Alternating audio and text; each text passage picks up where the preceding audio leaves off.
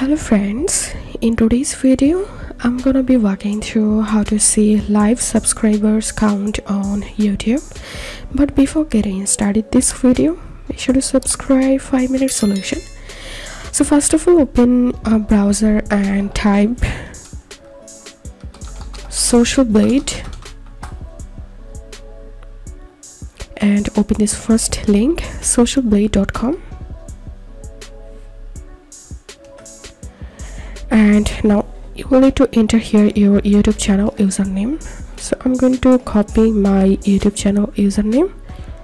Five minute solution. This is my channel username. And i'm pasting username here and hitting enter. And then here you can see my channel showing up here. Total uploads total subscribers and total video views. So to see live subscriber count all you have to need just click on live subscriber count. And here you will see your youtube channel live subscriber count. So that's how you can do it. If this video helped you give a thumbs up and please consider subscribe to 5 minute solution. Thank you for watching